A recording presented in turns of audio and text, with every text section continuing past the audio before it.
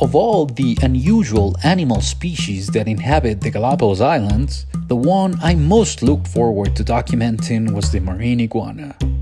These fascinating reptiles are the only saltwater lizards in the world and are endemic to the archipelago.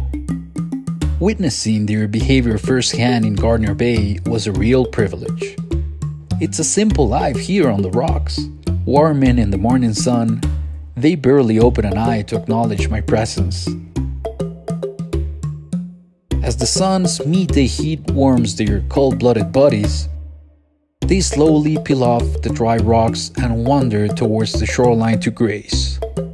I wanted to capture their unique feeding behavior, but it was challenging to get close enough, as they usually chomp on the seaweed that grows beneath the waves. Unlike the iguanas, I don't have claws to help me grip.